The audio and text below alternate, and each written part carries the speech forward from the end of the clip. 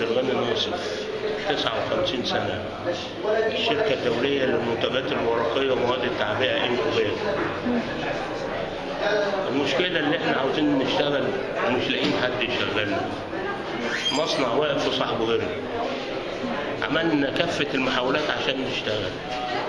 قلنا نشتغل آه، نعمل تفويض من النائب العام ووزارة القوى العاملة علشان نشغل إحنا ذاتي.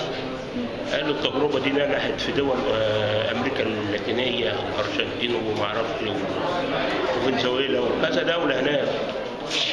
هنا عقدوا العملية مفيش آه، شغل يعني. قال لك لا النائب العام ما وافقش. ودانا للمحامي العام في الجيزة المحامي العام ودانا للنائب العام تاني. فإحنا دلوقتي من شهر أربعة من شهر أربعة مفيش حد أرض لغاية دلوقتي إحنا في شهر اتنين. ال- العمال في حالات طلاق حصلت وفي أطفال اتشردوا. ومش عاوز أقول لك على اللي حصل إيه ده, ده الكلام ده ثقة. مش لاقيين حد يقف معانا. زي إن أنت تيجي صاحب شركة وكاتب الشركة باثنين يعني أنت راجل مدير.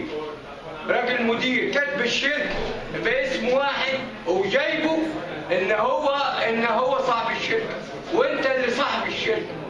وتاخد وتقفش وتحط في جيبك وأنت تديني فتافين يعني أنا بعد من بعد 67 أروح فين دلوقتي؟ الشركة هتقبلني ولا مجاول هيقبلني ولا اي حاجة هتقبلني نروح هناك هناك عدس عند عيال في البيت ده ده يمكن كمان عيالي يقولوا لي مش هتنفع في نجاوة العدس وال- والرز لا مؤاخذة يعني معلش يا جماعة أنا من حي الدم يعني بتكلم فدلوقتي ما ينفعش إن إحنا إحنا بنقارن بتعيين الناس اللي هي سنها صغير وإحنا الكبار 45 عامل نبقى كجوه زي ما إحنا. إحنا ما بنخالفش حد بنقول الدين لله.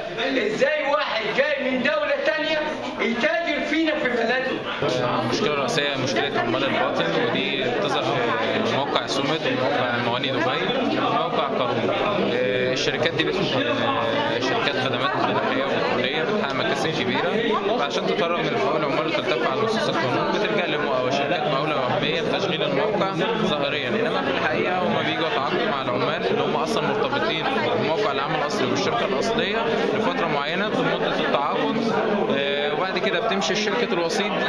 المنظومة دي بتأدي لضياع حقوق العمال وإهدار حقوقهم و- اللي اتصاب في ظل مقاول المقاول الجديد بيجي يرميه. آه، وكلهم بياخدوا أوامر من الشركة الأصلية. هم مجرد آه، قطع شطرنج بتحركها القطع الأصلية عشان تهرب من الساحات والامتيازات اللي فرضها القانون للعمال في قطاع الاستثمار. والعمال بقالهم أكتر من سنة سنتين في إضرابات مستمرة. آه، لجأوا ليها بعد واتفقوا عن مطالباتهم المستمره بتحسين اوضاعهم وايجاد حلول مبقاش قدامهم الحق الإضراب. إنما بعد الثورة مباشرة آه، كان في إضراب آه، السخنة بسومد الجيش تدخل واتقبض على خمسة من العمال واتحكموا محاكمات عسكرية. وفضلوا أكتر من شهور في الحبس الاحتياطي تنكيلا بهم وفي النهاية خرجوا بعد عذاب يعني.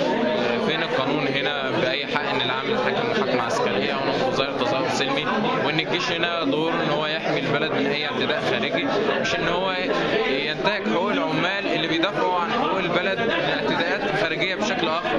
هيمنه اقتصادية تعسف بحقوقهم وتضيع فرصتهم في التنمية وتحسين اوضاعهم